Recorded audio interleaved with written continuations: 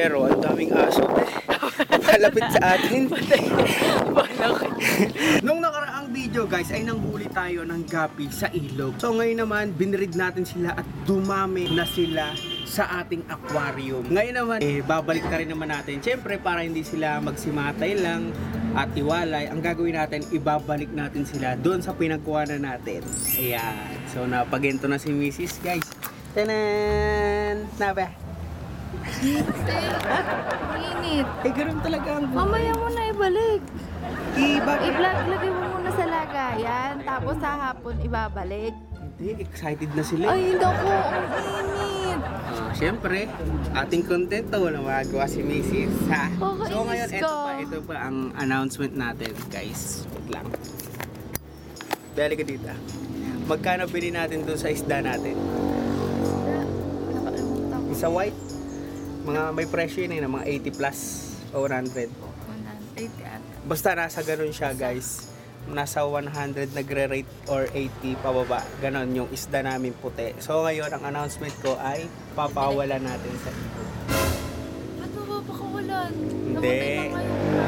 Oo. So guys, ganito kasi yung nangyari nung nakaraan guys. Yung pumunta kami sa Pampanga guys, naiwan yung isda namin. Tapos, ano, sa sobrang init, na-dehydrate sila. Kahit nasa tubig sila. Oo. sa sobrang init, na-dehydrate sila. Tapos, Na-dehydrate eh. Nasa tubig na oo nga no, eh nainitan eh, nakuluan eh. Sa sobrang init yun guys, kasi pinaanuan namin yun eh, binabanlawan namin yung tubig nila. No? Tapos minsan nilalagyan namin ng karton. Hindi, ano kasi parang na-evaporate yung tubig nila. Mm-mm. Ah, pagdating namin medyo konti na lang yung tubig, no? Kasi parang naiinom nila. ano. na yung ano. Oh, y- doon ka magtataka, no? Parang, paano uminom ang isda? Eh, nasa tubig na sila. Tanong mo. Oh, siguro ganun, no?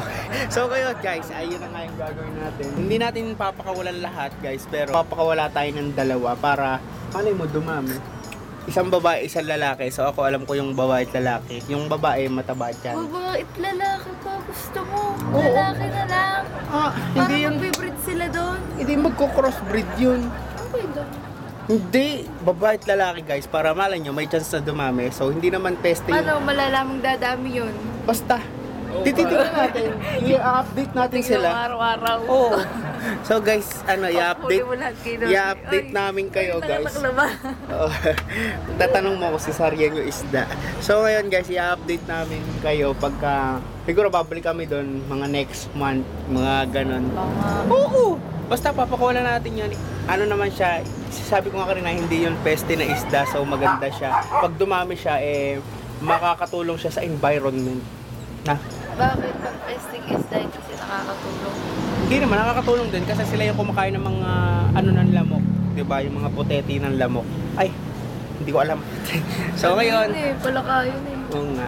Ah, So ngayon, ano na natin? Tara na, tara na. Dami Dami mo mong eh, say. Dami mong say. Nag-intro lang ako. Dami mong say. So pupunta na tayo dun sa ano, yung sa aquarium namin at kukuha na tayo guys. So ngayon yan yung mga isda natin at ito na yung sinasabi ko sa inyong breed guys. Ayun sila yung puti. Ayan no. Ayan yung mga ibibigay natin mamaya doon. Ito, ito, ito. ito, ito. Uy, labo yun. Hindi ko kuha tayo. Ayun. Ayun. Ah, cute na guys. Cute na guys. So, siyempre, kukuha lang tayo ng babae. Tapos, isang lalaki. Ayan. Marami pa naman sila guys eh. Kasi nung nakaraan, iniwan namin, napakadami talaga nito. Ngayon, uli na muna natin yung mga isda. Lagyan natin ito tubig. Iiwalay natin yung mga ano. Halika dito ba? Lagyan mo muna din to ng tubig. Oo, dyan dapat. Wasak, tanggalin mo na yung mga bulok. Yan. Okay.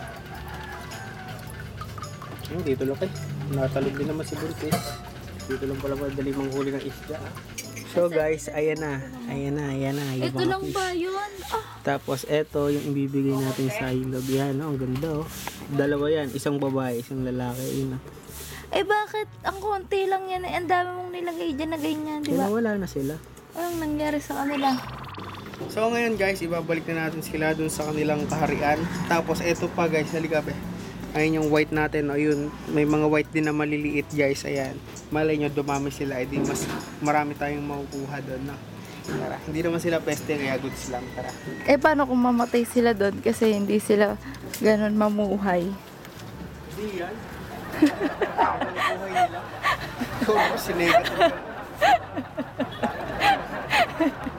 Hindi ako negative. Iniisip ko lang ang mga pwedeng mangyari. Okay?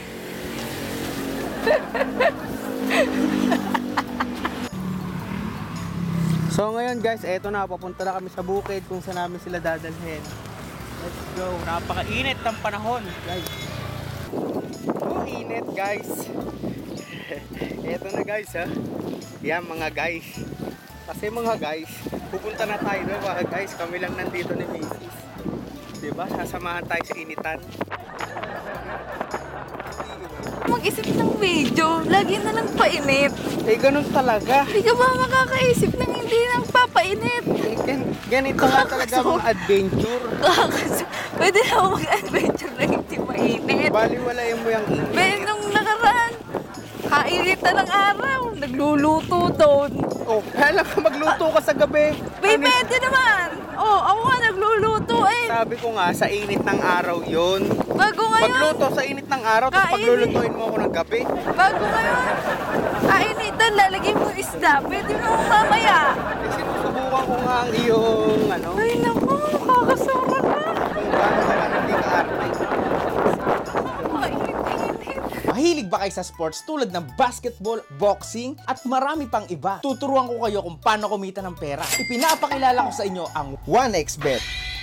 Ang una nyo lang gagawin ay kiklik nyo lang yung link na nasa comment section at nakapin. Tapos magre-register kayo. At Huwag niyong kakalimutan ng promo code na 1X guys. para makakuha kayo ng bonus up to 12,000. pag nakapag-register na kayo, ay papasok kayo dito sa login na to. So ayan, kung mahilig nga kayo sa boxing, basketball at marami pang iba na sports, ay makakataya tayo dito ng mga gusto nating laban sa sports. Pipili lang kayo dyan ng mga gusto nyong tayaan. Ganyan lang kadali. Kaya ano pang hinihintay nyo? I-click nyo na yung link na nasa comment section at sabay-sabay tayong maglaro ng 1xBet.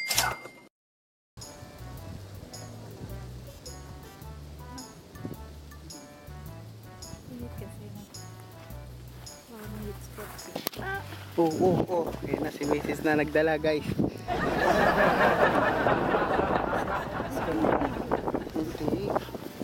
Matutuwa nga yan kasi nasa nature na siya. Wala na siya sa, sa kwadradong lugar na kuwan. So guys, nag-aano si Mrs. Nag-caker siya sa alaga naming isda kasi inaalala niya yung pagkain. Hindi alam ni Mrs. na dyan sa wild, dyan mas maraming pagkain kasi natural... Ha? Hindi masarap. Hindi, ang hindi masarap sa kanila, yung pinapakain natin sa kanila sa gawa yun. Ano na lang yun eh. Sa kanila. O baka nga ganon. Pero, ang daming aso. Kalapit sa atin. Balak. Pauso ka kasi. Ang daming aso guys. Sa inyo dahil sasabog pa sa ganda ng aso. Balak. Eh, ganun talaga. Ayun, ang. Daming aso guys. Ba yun dito? Dito yun. Oh, may mga tao pa. Hindi na yun. Dito na tayo, nakarating na tayo sa nature. Nature spring. Nandito na yung mga kamag-anak nila, madami. Ang init. Oh, ang baba na ng tubig. Sino mo yung mga aso dito?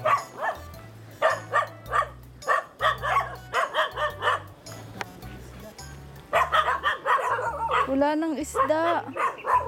Nasaan? Nasaan ba? Oo nga Ayan, oh. guys. Sobrang daming isda Ayan, guys. oh. Ang dami lang kamag-anak. Tilapia. So, eto na. Dami. I-release. Guys, oh, ang dami isda. So ngayon, i-release na natin to guys. So eto. Bye-bye mga fish. Dumami kayo. Laglag ka pa dyan. Awa ng pato. Nasa dito. Nakita pa natin. siya. Halika dito. dyan. So, ayan guys. Yun na, nakabalik na siya. Yun ah. Ayun na oh. Ayun, tumalo na ah. Tumalo na oh. Tumalo oh. Ano yun sa Ayun atin? yung white oh. Nasaan na? Ayan na sila guys. Ayan. Wee. Umalis ka dyan. Yan oh. Oh, si Whitey. Bye, Whitey. Bye Whitey. Tatawagin. Tapos yung asawa niya oh. Bilis. Ah, dalawa pala yung nailagay ko no. O hindi, yung, Hindi. yun yung baba. Ay, hindi, tatlo yung nailagay ko na white. Ayun, oh, yun, isang white, isang white, isang white. Tapos yung mga bata, baka white din sila. Oh, hindi masaya yung white.